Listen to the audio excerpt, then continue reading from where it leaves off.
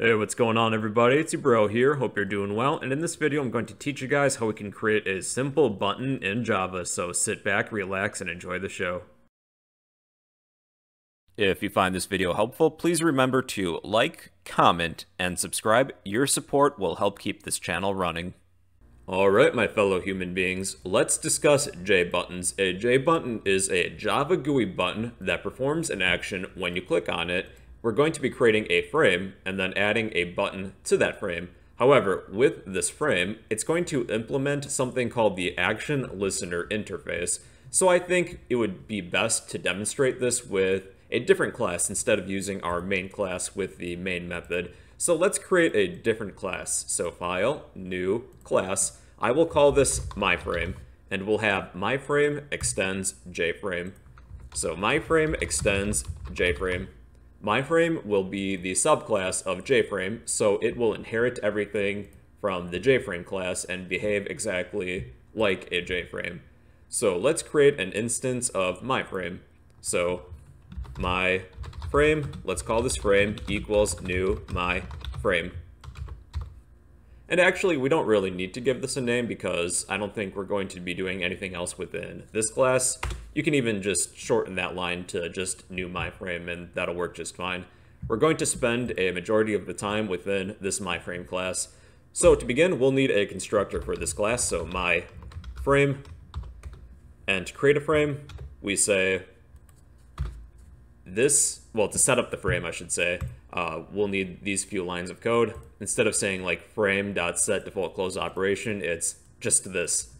So this dot set default close operation, jframe exit on close. We're going to be using no layout manager, so this dot set layout to null, this dot set size, 500 by 500 is decent, and this dot set visible to true. So this should display a JFrame now.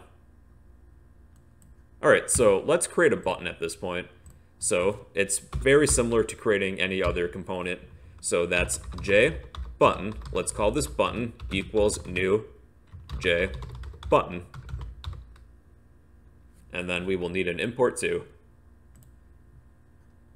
And then let's set the bounds for this button. So button dot set bounds. So we have x, y, width, and height. I will place this maybe where x is 200, where y is 100. For the width, let's make this 100, and the height, maybe 50. So then, to actually display the button, we need to add this to our frame. So this dot add, what are we adding? We're adding our button. And let's run this. So here's our button. It currently doesn't do anything. So we need our class to implement the action listener interface. So implements action listener. So we're going to need to implement a method. The action performed method. So this frame will now listen for events. So one thing we can do, we can check to see if the event that occurs is our button. So we do that with if e dot get source is equal to our button. Then what are we going to do? All right, you can see one problem here though. This button is not global. It's only local within the constructor of myFrame. So we can actually turn this into a global component. So what we need to do is actually declare this outside of the constructor because right now, since we declared this within the constructor, only anything within the constructor has access to this. So we'll say jButton button, button and we'll finish instantiating this button within the constructor. And you can see that this error went away. So now what do we want to do when we click on this button? Let's just do a system.out.println, and I will print out the word poo. All right, so then when we click on this button, it performs an action. So if the action performed is equal to the button, it's going to do this. The button is going to poo. However, this button doesn't seem to be doing anything. That's because we need to add an action listener directly to the button. So button dot add action listener, and we can pass in this. since this class is implementing the action listener interface. So now this should do something. And now when we click on the button, the button starts printing the word poo. Now is the perfect opportunity for me to introduce something called a lambda expression. It's actually a shortcut that you can use in place of action listeners. So this is an advanced shortcut. I do have an entire video dedicated to this that you might want to watch at some point. So what we can do, instead of implementing the action listener interface, and instead of using the action performed method, when we add an action listener to this button, we can place a lambda expression here. And this is how to write one. We write E within the parentheses, followed by an arrow, and then what we want this button or other component to do. So let's just system.out.println uh, the word poo again because we can. So poo. And when we run this, it does the exact same thing, just with less syntax. However, this is a more advanced concept. I do have an entire video dedicated to Lambda expressions if you're interested. Let's customize this button. Well, because we can. Because we can is actually a great reason for many things. So let's set the text for this button. So button dot set text and then I will write I'm a button. There's our text. So if you look at the uh, text for the button, there's this annoying border around the text. We can actually get rid of that. We need to set focusable false because the button is focusable. So button dot set focusable and we're going to set this to false. So that should get rid of that box that's around the text of the button. Let's also increase the size of this button too. So I think I will make this 250 by 100. That should be decent. And let's move this over a little bit. I'll try and at least get this close to centering this. All right, let's add an icon too. So we'll need to create an icon. So this is an image icon. I'll call this icon equals new image icon. We're going to list the source for this. So I have a picture on my desktop I want to use. It's just a pointer finger basically. So this is point.png. And then we'll need to import as well. All right, so button dot set icon. And we're setting this to the name of our icon, which is coincidentally icon. Now I want the icon on the right hand side of the text. So there's a method for that. So what we're gonna do is button dot set horizontal text position so J button dot, let's say center.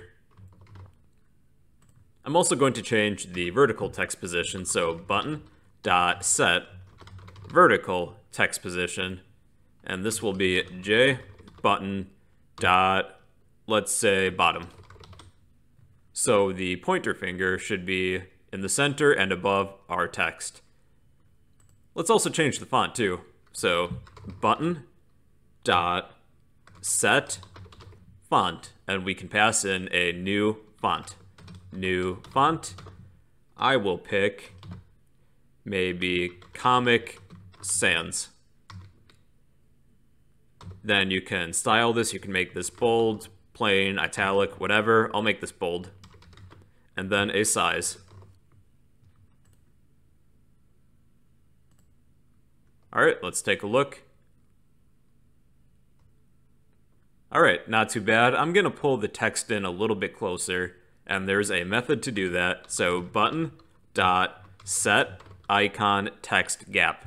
And I'm going to set this to a negative number to pull the text in closer. Negative 15 should do it.